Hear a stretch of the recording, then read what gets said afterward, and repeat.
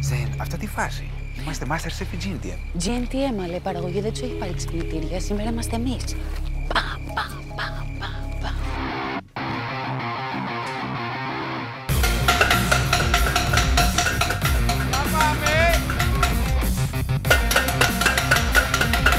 Έλα, καλημέρα. Έλα, σκοτείτε, σκοτείτε. Στρατό έχετε πάει; Κατευθείαν έξω. Καλώς ήρθατε. Παιδιά! Να πάρω πάλι την κατσαρόλα. Δεν βάζετε κρέμες, δεν βάζετε concealer, δεν βάζετε τίποτα στη μούρη σας, θα γίνω έξαλλη. Παιδιά, μαύρα βρακιά έχετε μόνο. Ναι. Συγχαρητήρια. Μου περισσεύουν δύο ρόμπες, αυτό δεν ξέρω αν είναι καλό. Δύο κορίτσια να έρθουν να πάρουν τη ρόμπα τους. Βαριέμαι. Πάρω μια ρόμπα. Να σου ερωτήσω κάτι, θα είσαι έτσι αργή ο- κάθε φορά; Όχι. Ναι, σε βλέπω νωρίς στο σπίτι σου.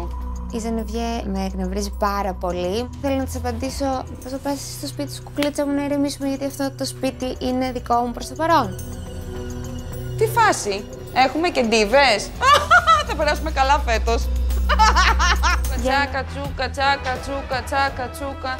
Τέλειες οι άσπρες οι ρόμπες, είναι κανονικό νοσοκομείο. Αλλά αυτό να μόνο